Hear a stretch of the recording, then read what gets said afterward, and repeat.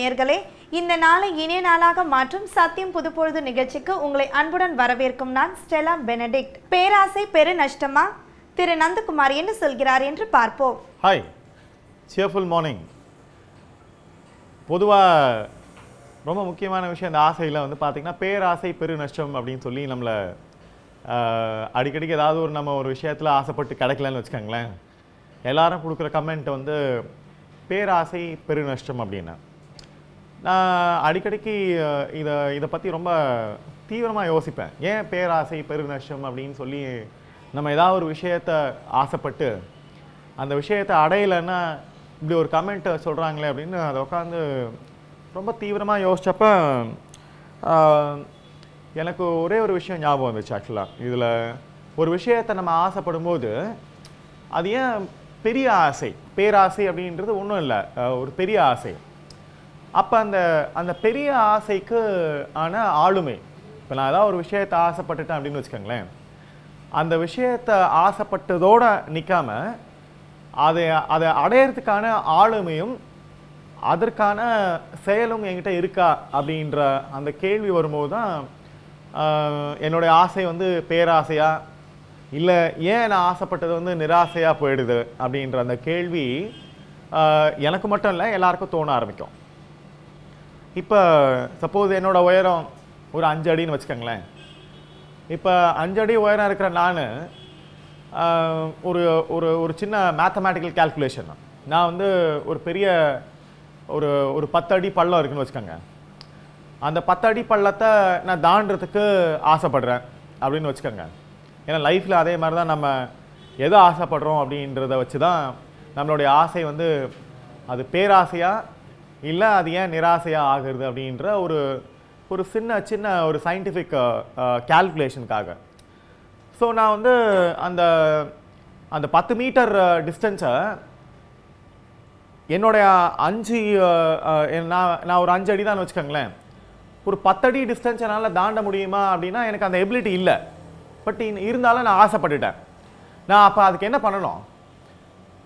அது முடியாது அப்படின்னு தெரிஞ்சப்ப I can have an aid ஆக்சுவலாக ஸோ எனக்கு என்னோட பர்சனாலிட்டிக்குன்னு வரும்போது நான் ஒரு பெரிய கையில் ஒரு ஒரு குச்சை எடுத்துக்கலாம். அந்த குச்சை வச்சு அந்த குச்சை ஊனி தாண்ட முடியும் அப்படின்னு வச்சுக்கோங்களேன் அந்த பள்ளத்தை அந்த பத்தடி பள்ளத்தை என்னால் நான் அஞ்சு அடி இருந்தாலும் பத்தடி பள்ளத்தை என்னால் ஈஸியாக தாண்ட முடியும். பட் எனக்கு நிறைய எனக்கு தேவை அந்த ஒரு குச்சி சப்போர்ட்டுக்கு அந்த குச்சி வந்து பார்த்திங்கன்னா எனக்கு அந்த பத்தடி பள்ளத்தை இல்லை பதினஞ்சு அடி பள்ளத்தை எனக்கு தாண்டுறதுக்கான அந்த எபிலிட்டி எனக்கு எனக்கு கொடுக்கும். ஸோ அதனால் ரொம்ப முக்கியமான விஷயம் நான் இப்போ சொன்னதில் எல்லாருக்குமே ஆசைப்படுறதோட அந்த எபிலிட்டி அவங்க அவங்க டெவலப் பண்ணிக்கிறதுல.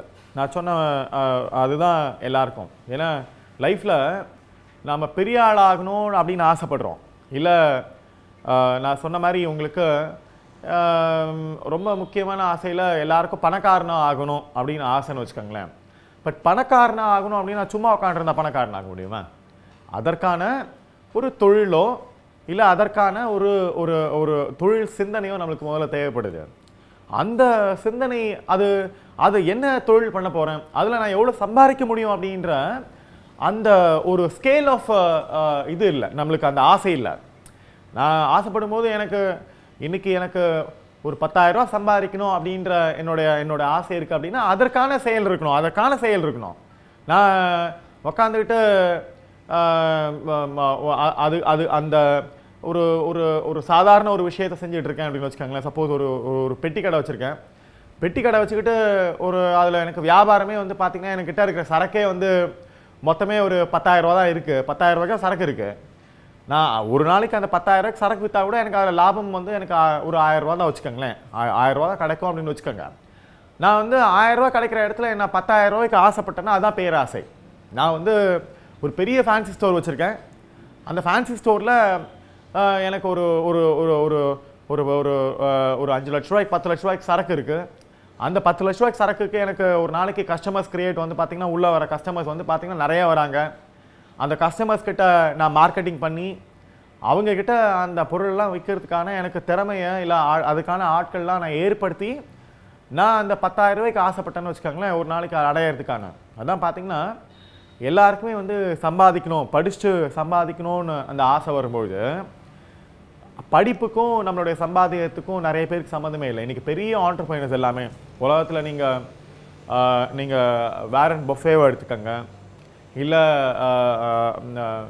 யாரோன இனி நீங்கள் பெரிய பணக்காரர்கள் இல்லை. ஏன்னா இன்னைக்கு முகேஷ் அம்பானி இவங்க எல்லாருமே வந்து பார்த்திங்கன்னா ஆரம்ப காலத்தில் அவங்களுக்கு இருந்த அந்த அந்த அந்த பிஸ்னஸ் இது அந்த டிசைர் என்னவாகணும்னு அவங்க யாருமே வந்து சின்ன சின்ன விஷயங்களுக்காக ஆசைப்படல.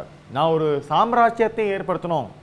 எனக்கு ஒரு எனக்கு இப்படி தான் ஒரு ஒரு லைஃப் ஸ்டைல் இருக்கணும்.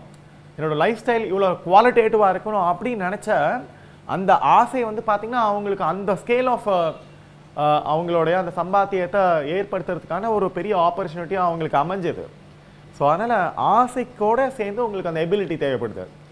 யாருக்கு அந்த எபிலிட்டி இருக்கோ? ஏன்னா எபிலிட்டிலையும் அதே மாதிரி நான் சொன்ன மாதிரி இந்த இந்த ஆசையிலையும் வந்து நிறைய பேருக்கு கன்சிஸ்டன்சி இருக்கிறது இல்லை அதெல்லாம் இப்போ இன்றைக்கி நான் இன்னைக்கு நான் சொன்ன மாதிரி வந்து சின்ன வயசில் நான் பாட ஆரம்பித்தப்ப பெரிய பாடகனோ ஆகணும் அப்படின்னு ஆசை இருந்தது.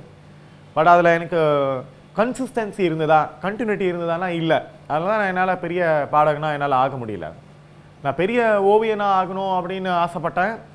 அஹ் ஆகின ஆனனா எல்லாம் பார்த்தீங்கன்னா அது மாதிரி கிடையாது. ஏன்னா அது சின்ன வயசில் ஏன்னா எல்லாருக்குமே அந்த டிசையரோட எவல்யூஷன் இருக்குது டிசையர் எவல்யூஷன் நம்மளுடைய ஆசையோடைய பரிமாணம் இருக்கு இல்லையா? பரிமாணம் வரும்போது அந்த ஆசை பரிமாணத்தில் வந்து பார்த்தீங்கன்னா கன்சிஸ்டன்சியும் கன்சிஸ்டன்சினா தொடர்ச்சி தொடர்ச்சி கண்டினியூட்டி அந்த அது அது ஒரு கொஹசிவ்னஸும் ஜம்ப் ஆகிட்டே இருக்குது நான் நான் வந்து மெக்கானிக்கல் இன்ஜினியரிங் முடிச்சுட்டு சாஃப்ட்வேர் இன்ஜினியராக ஆகணும் அப்படின்ற ஆசை எந்த அளவுக்கு கோரலேஷன் இருக்குது ஒரு கோஹசினோஸ் இருக்கா? கிடையாது.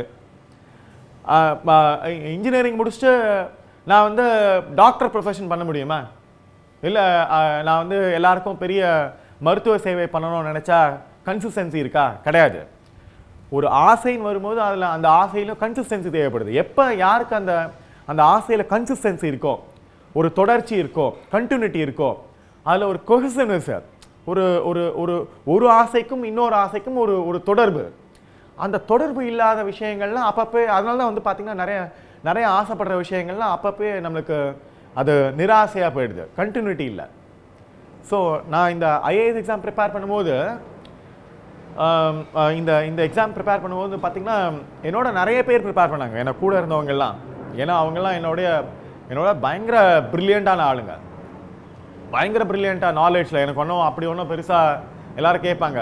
நான் ஒரு ஸ்கூல் ட்ராப் அவுட்டு ஒரு கவர்மெண்ட் காலேஜில் ஸ்கூல் போகாத ஒரு கவர்மெண்ட் காலேஜில் படித்து இந்த எக்ஸாமை கிளியர் பண்ணும்போது என்கிட்ட கேட்ட எல்லாரும் ஒரு முக்கியமான கேள்வி என்னென்னு பார்த்தீங்கன்னா எப்படி இது உங்களால் முடிஞ்சது? ஏன்னா எனக்கு இந்த டிஸ்லக்ஷிக்லாம் இருக்குது. நான் ஒன்றே ஒன்று சொன்னது ஆசையில் நம்மளுக்கு ஒரு தொடர்ச்சி தேவைப்படுது. நான் எடுத்தது ஒரு இலக்கு.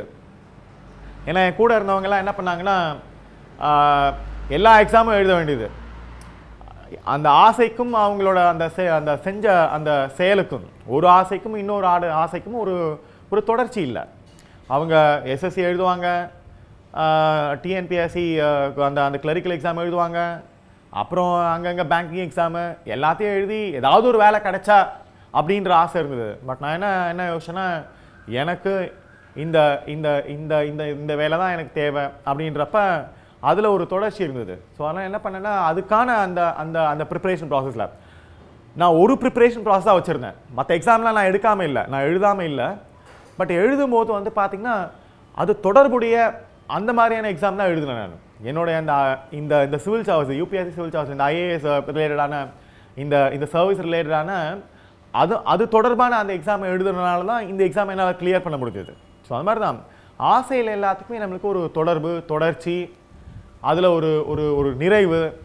இது எப்போ நம்மளுக்கு அந்த அந்த இந்த விஷயங்கள்லாம் இருக்கோ அப்போ தான் நம்ம நம்ம படுற நம்ம நம்ம ஆசைப்படுற விஷயங்கள் நிராசையாக இல்லாமல் அது ரொம்ப பேராசையாக இல்லாமல் அதனால் அது அதனால் நம்ம அடிக்கடி சொல்கிற விஷயம் பேராசை பெருநஷ்டம் அப்படின்னு பொதுவான ஒரு கமெண்ட்டை எடுத்துக்காம நம்ம ஆசைப்படுவோம் அது பேராசையாக இல்லை நிராசையா அப்படின்ற அந்த விஷயத்துக்கு நம்ம தான்.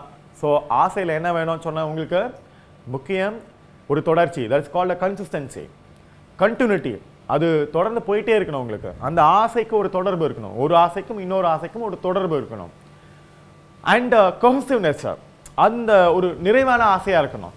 ஸோ அந்த ஆசை வந்து உங்களுக்கு அப்போ தான் விவேகானந்தர் சொன்ன நீ எதுவாக ஆக நினைக்கிறாயோ நீ அதுவாக ஆனாய் அப்படின்னு சொன்னது ஒரு சின்ன சின்ன விஷயங்கள் கிடையாது. அது பெரிய விஷயங்களுக்காக. ஸோ அப்படி நினைக்கிற எல்லாருக்குமே நான் சொன்னேன் இந்த ஆசையில் கன்சிஸ்டன்சி கண்டினியூட்டி கோசனஸ் இருக்கிறவங்களுக்கு கட்டாயமாக அவங்க லைஃப் லைஃப்பில் நினச்ச அத்தனை விஷயங்களும் நடக்கிறதுக்கான அந்த சாத்தியக்கூறு கட்டாயமாக உண்டு.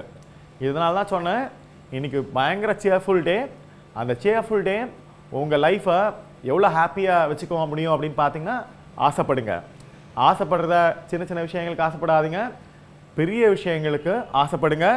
ஆனால் அந்த ஆசை ஒரு பேராசையாக நஷ்டத்தை ஏற்படுத்தாமல் இருக்கணும் அப்படின்னா நான் முன்னாடி சொன்ன மாதிரி அத்தனை விஷயங்களும் உங்களுக்கு தேவை. அப்படி தேவைன்னா எல்லா நாளும் பயங்கர cheerful day so enjoy the day